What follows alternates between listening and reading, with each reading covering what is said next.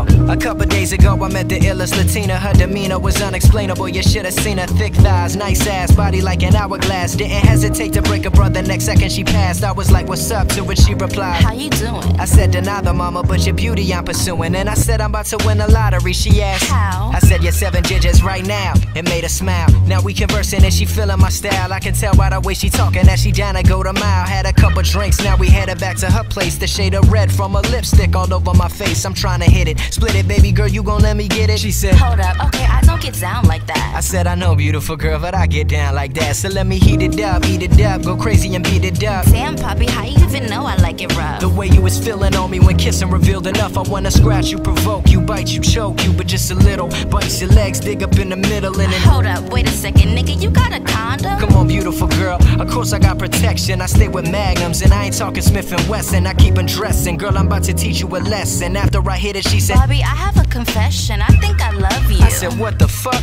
Thinking to myself, damn, I should've never cut. Kissed her on the cheek, hit the lights, then she fell asleep. So I snuck out the bathroom window on the creep, like. You left yourself in on me, sir.